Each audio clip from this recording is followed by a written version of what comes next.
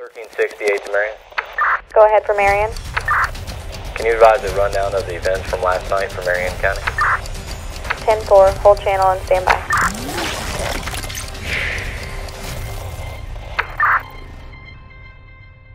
All right, here's your rundown from what happened last night.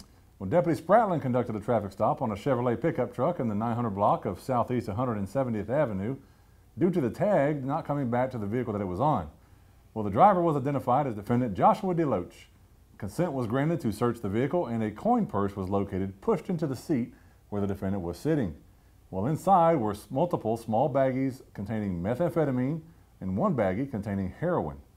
Well, the VIN on the vehicle confirmed that it was, in fact, unregistered. So the defendant was taken to our Gold Star Hotel. Good job catching that and heroin off the street. Some more off the street.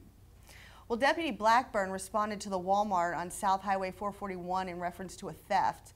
Investigation revealed that Christopher O'Brien stole over $400 in merchandise before being stopped by loss prevention. O'Brien was arrested and transported to the Gold Star Hotel. All right, so here's one you may remember from a few days ago. Uh, this is back on May 4th. Uh, we gave you a story of Alexandra Rosado Amaro. She was arrested for DUI just two days before her 21st birthday.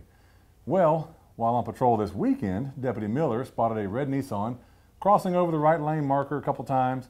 Well, after discovering the tag was expired, a traffic stop was initiated, and the driver, once again, was Alexandra Rosado Amaro.